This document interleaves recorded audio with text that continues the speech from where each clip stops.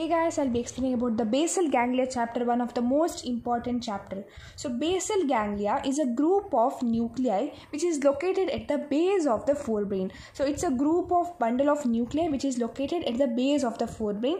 It does not receives input from the spinal cord. So usually I've seen in the all the ascending tracts, descending tracts everywhere. You have seen they receives the input from the spinal cord.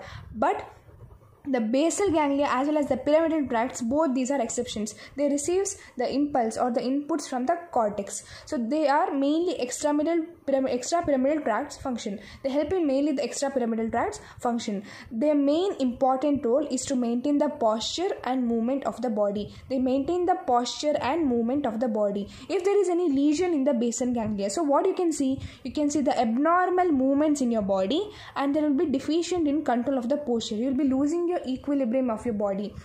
You won't be able to stand or sit in a particular position. You'll be like like walking like a gait thing. So abnormal movements deficient in control of posture. So it has two connections efferent connections as well as internuclear connections so efferent connections is the starting connection internuclear connection is nothing but if you find two nucleus in between the two nucleus you can see the connection that is called as internuclear connection. So efferent connections are of two types corticostriate projection. So what does striate means? Striate is the caudate nucleus plus putamen. So it is a connection between the cortex as well as striate projection and there is also a connection between thalamus and striate projection. There are also three internuclear connection, dopamine connection, GABA connection, glutamine connection, glutamic acid GA connection. So dopaminergic nigrostriatal connection very important. If there is decrease in this pathway in, if there is decrease in content of the dopamine in this pathway then there, there might be occurrence of parkinson's disease which is a very important question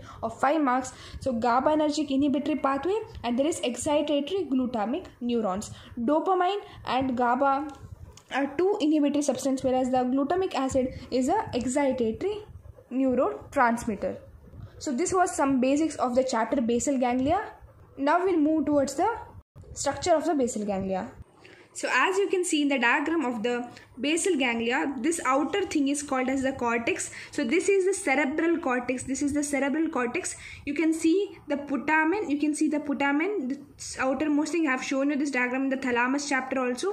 You can see the putamen. You can see the globus pallidus. Globus pallidus is having two segments. One is the external segment as well as the internal segment. So Putamen plus globus pallidus is also called as the lenticular nucleus. Putamen plus globus pallidus is also called as lenticular segments. The globus pallidus is having two segments, external segment and internal segment. You can also see the putamen nucleus and the caudate nucleus. So the caudate nucleus plus putamen nucleus is also called as striatum. So striatum or it is also called as neostriatum. What does striatum or neostriatum refers to? It is the putamen as well as the caudate nucleus. Then you can see the thalamus. You can see the thalamus structure here. You can see the subthalamus.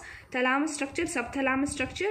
You can see the substantia nigra substantia nigra is of two parts. Pars compacta the above one and the below one is called as pars reticulata pars compacta the above one and the below one is called as pars reticulata you can also see the superior colliculus nucleus. Superior colliculus nucleus is also seen. So this is the general diagram of basal ganglia. Cortex putamen globus pallidus external segment globus pallidus internal segment. You can see these both structure are called as lenticular nucleus. You can see the caudate nucleus. Putamen both are called as striatum or neostriatum. Thalamus subthalamus. Substantia nigra is of two parts pars compacta and pars reticulata there is also a superior colliculus nucleus present here. So this is about the parts of the basal ganglia. Now we'll look after the connections of the basal ganglia the negative or the feedback circuit of the basal ganglia which is a very very important question for exam. Okay so we'll draw the connections of the uh, basal ganglia which is a very important question. So as you can see in the diagram so first we will read out the structure. There is cerebral cortex neostriatum or striatum. You have the globus pallidus external segment internal segment subthalamic nuclei pars compacta pars reticulata of the substantia nigra habenula and superior colliculus nuclei. And you have the thalamus here. Firstly the pathway begins as there will be impulses going from cerebral cortex to neostriatum and thalamus to neostriatum through acetyl choline through the acetyl choline. So this thing you have to remember first. It is an excitatory neurotransmitter. So I have drawn in a straight line from neostriatum. There will be inhibitory pathways going to external segment of globus pallidus as well as the internal segment to globus pallidus as well as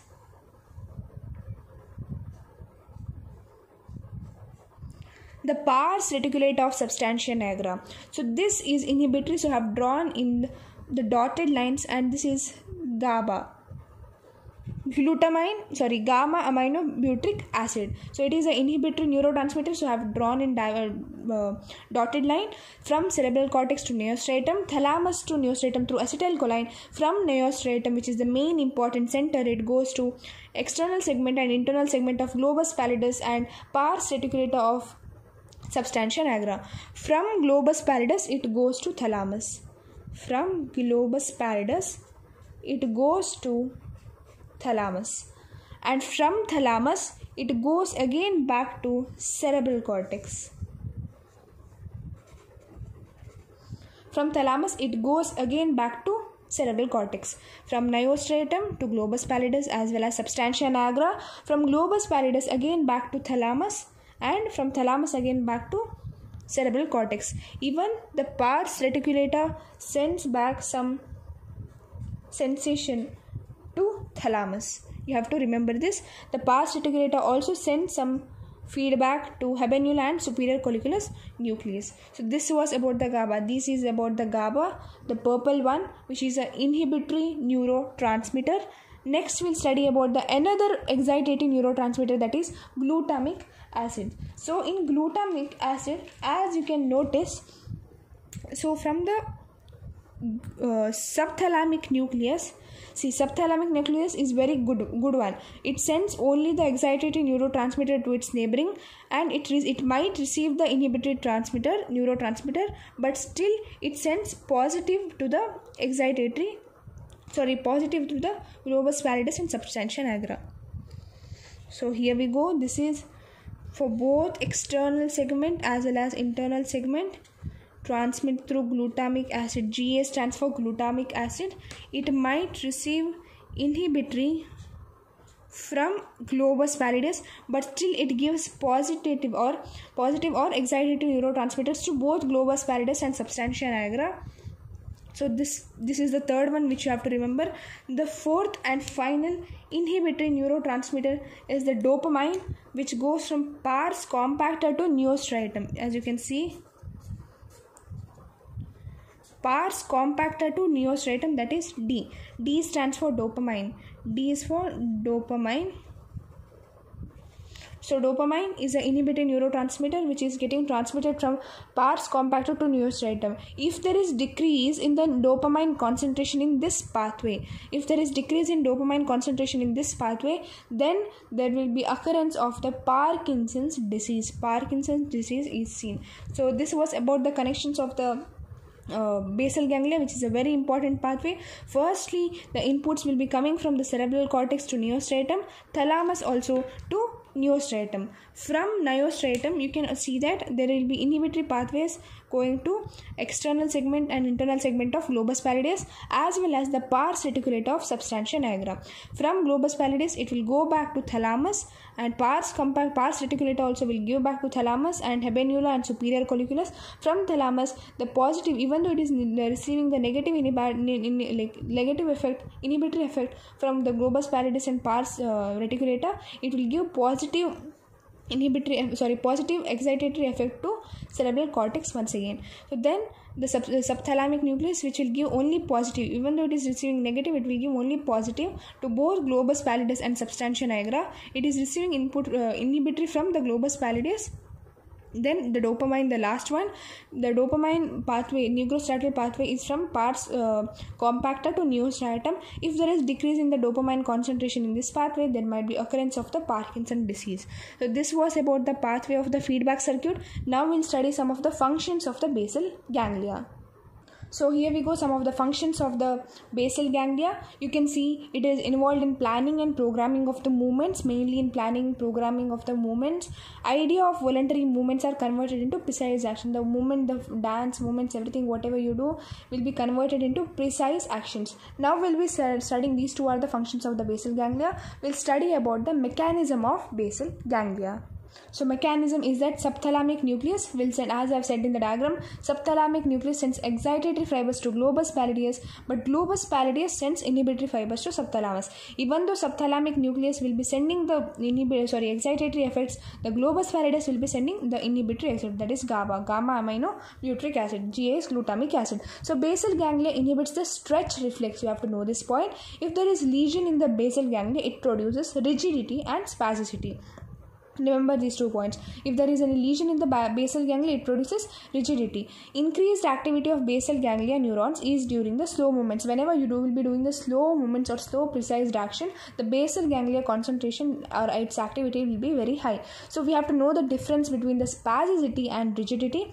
Spasticity is seen due to lesion of the pyramidal tracts. We'll be studying about the tracts in the descending pathway chapter. Spasticity is seen in the lesion of the pyramidal tracts. Rigidity is seen seen in the lesion of the extrapyramidal tracts. Rigidity is seen in the lesion of the extrapyramidal tracts. So here there is involvement of only one group of muscle, but in rigidity there are involvement of more like both or more group of muscles. That is agonist as well as antagonist in the spasticity you can see the clasp knife spasticity it is a type of spasticity in rigidity you can see the lead pipe rigidity as well as cog wheel type rigidity all these things are seen in the spasticity as well as rigidity So we'll study about the nucleus and functions of those nucleus. Neostriatum we have seen in the uh, feedback circuit of the basal ganglia.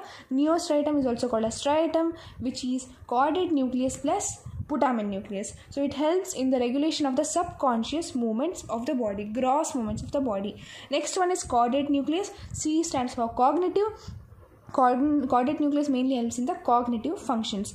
Third one is the globus pallidus, which is mainly involved in the skilled movements. Substantia nigra, it is a center for coordination of these skilled movements, which helps in the coordination of the globus pallidus and their skilled movements. So basal ganglia, mainly it is responsible for the normal autonomic associated movements. It is mainly responsible for the normal autonomic associated movement, like the way we swing our hands during like walking, normal walking. When we like keep our left leg forwards we move our right hand. When we keep the right leg forward we keep move the or swing the left arm. So it is like vice versa. Contralateral movement will be there. So this was about the functions of the nucleus of the basal ganglia. What is rigidity? Rigidity is mainly seen in the proximal limb of the muscles especially the knee flexors sternocleidomastoid muscle. It is the most common one. Biceps triceps everywhere we can see the rigidity. So we'll see this disease if there is lesion of basal ganglia. In these disease we have to remember the parkinson's disease importantly which will be asked for 5 marks. So parkinson's disease there if there is lesion then you can see parkinson's disease huntington disease chorea athetosis hibalism wilson's disease kernicterus so now we'll study mainly about the parkinson's disease. Remember any two like parkinson's disease wilson's disease and kernicterus remember any two? Chorea also you can remember. So now basically we'll study about the parkinson's disease which is a very very important topic for 5 marks so Parkinson's disease, what is happening?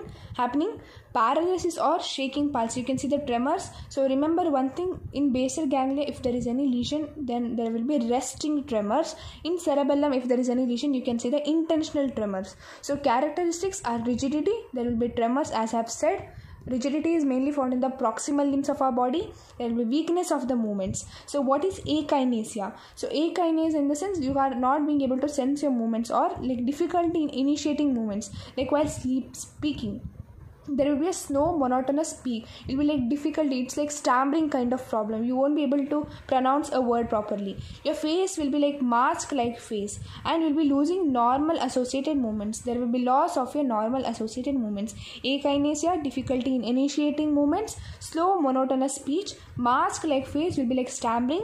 Loss of normal associated movements what do you mean by festinate gait you won't be able to walk properly. You'll be wa- walking as if you are a drunk person. So shuffling patient bends forward walks quickly with short steps because he's scared as if he'll fall down So Festinant gait is the one with the patient bent forwards, walks quickly with short steps as if he is preventing himself from falling down.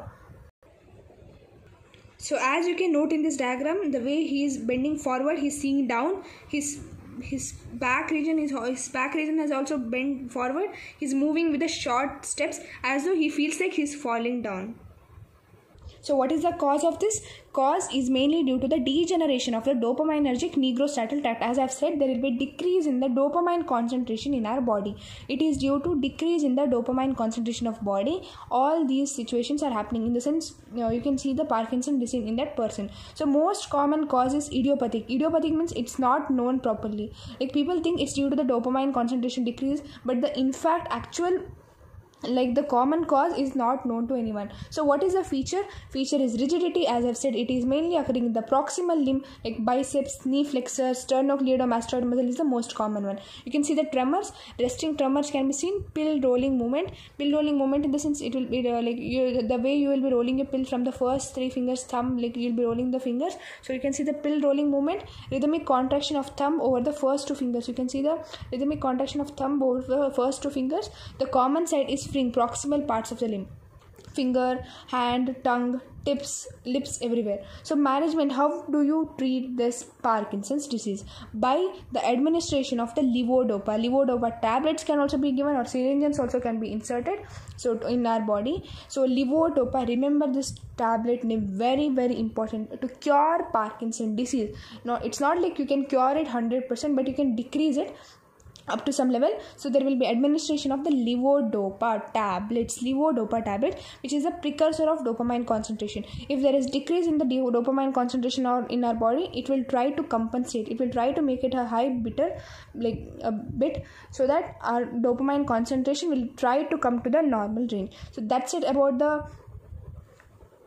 basal ganglia hope you have understood this video. Please do like share and comment. If you want me to explain some other chapters also please do write it on the comment box. Thank you